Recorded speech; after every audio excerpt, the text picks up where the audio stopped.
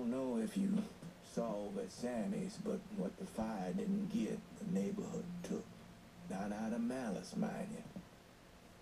They wanted something to help them remember.